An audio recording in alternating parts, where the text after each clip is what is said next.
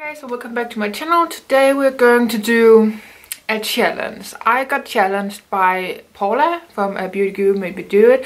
I'm sure you know her. I do some collabs with her here on my channel and she is in the same project pans as me sometimes. She did a video, three spring looks using three fall palettes and I thought that was an amazing idea. She did so so good. You should definitely check out her video, it will be linked down below. She chose three palettes that reminded her of fall and then she kind of took the colors in the palettes that reminded her most of spring and then turned it into a spring look instead of a fall look. I think you know what I mean. So, why not just make it a W7 video? I have three palettes here and they remind me of fall and I thought some of the colors I could turn into spring looks. So, I've done that. The first look I used the W7 Delicious palette and this is the Modern Renaissance Renaissance dupe. It is looking like this. So, you can definitely see some fall colors because there are these Whereas the orangey shades, there are these burgundy red shades and the deep brown. So I took, I think, this shade. It doesn't have names. I took this shade and then I took the more pinky reddish shade. That one and then I took the mauve shade. And then I believe I took this shimmery champagne shade all over my lid. I thought it was looking very spring-like because it was faded out so it was like but at the same time a pigmented pinky red shade and then the very light lid shimmer lid shade. So I thought it turned out really really nice. And um, yeah I definitely think I accomplished the spring look with this fall palette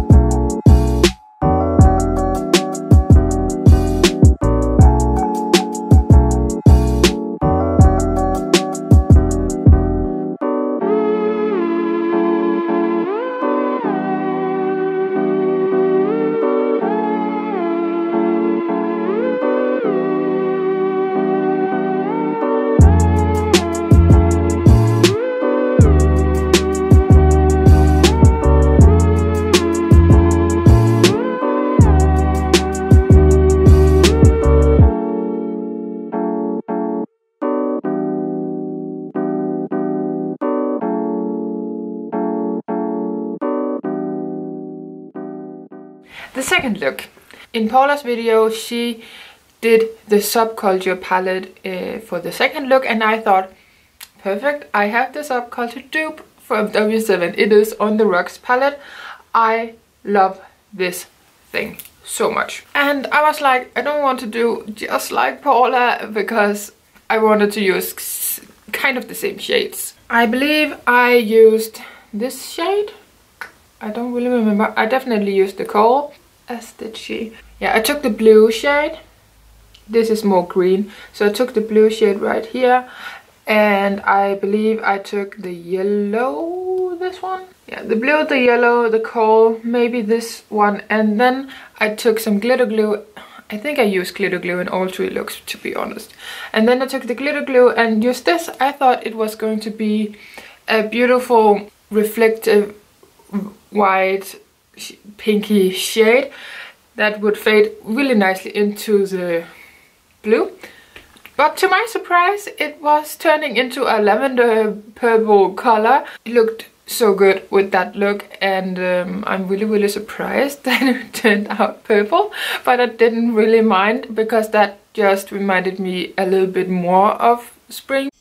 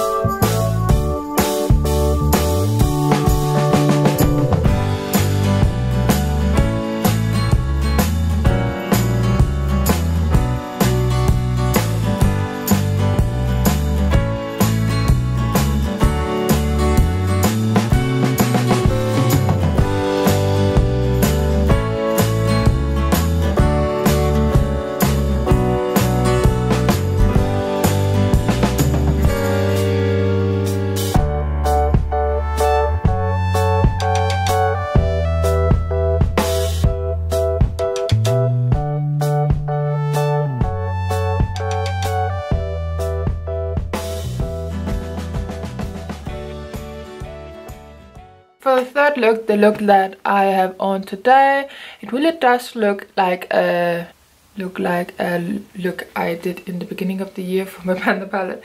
But this is the W7 Dusk Till Dawn. I believe this is a dupe for the Huda Beauty... Oh, I don't remember what it's called, but it is a Huda Beauty palette dupe. I don't remember the name of it, to be honest. This is the palette. And you can make this a fall look because these uh, shimmer shadows right here, they are kind of dark so and taupey. So I thought that would make a beautiful natural look in the fall time because the orange and the red are very bam. So that was my intention. And then I looked at it and I was like, the peachy and the purple and the corresponding shades, um, they would look very nicely together and they're kind of spring-like. I had a little bit of a struggle with the uh, matte purple because it didn't want to, uh, wanted to blend and blend away, but it didn't want to stick. So for next time I use that purple, I definitely need to put it on a sticky base before before uh, my crease shadow. But I used this in my crease, this on my outer corner, this on my lid, and then this on my outer corner as well to cover up the patchiness that the purple did.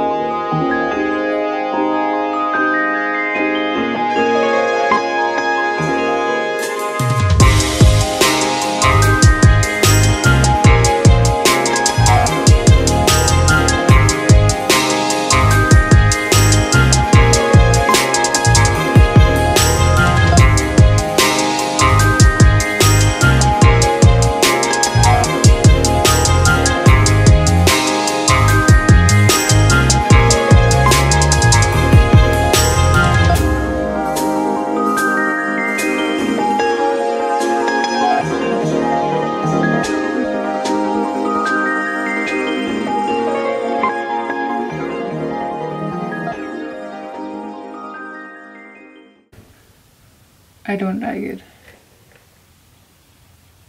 Can you see that? It's so patchy. I like this so much better. Why did I try to pack it out?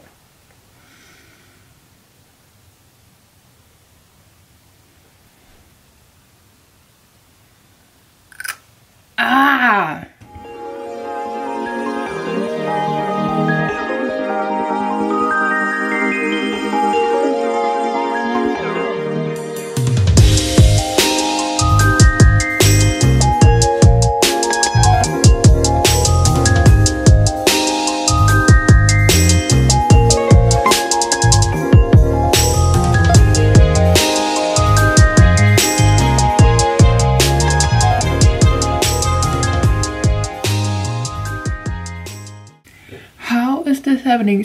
You see, it's disappearing. Now my eyes are watering. I can't. Uh, this purple is so bad. I'm just trying to build it up and it's just getting more and more patchy towards the middle, you see? So that's just awesome. Let's do something else. Let's put the purple shimmer in my outer corner. I fucked it up, so why not just keep going? That's kind of working. Kind of. And now I just have massive fallout in my mind. So we kind of have to do the same on the other side.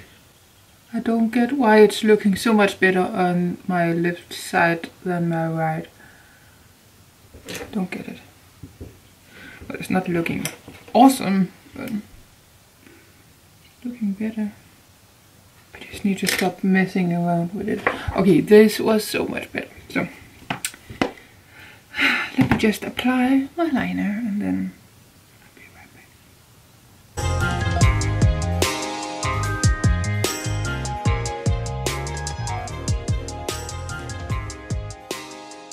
I used this for the third look and I paired it with a purple winged liner and it got quite big but I really don't mind because uh, those purple shades they became a little bit patchy. And I think I covered that up. And then I uh, for the look number two I used the same uh, lip color without the gloss on top so it's kind of uh, peachy. And this is like orange. And for the first one a pink lip liner.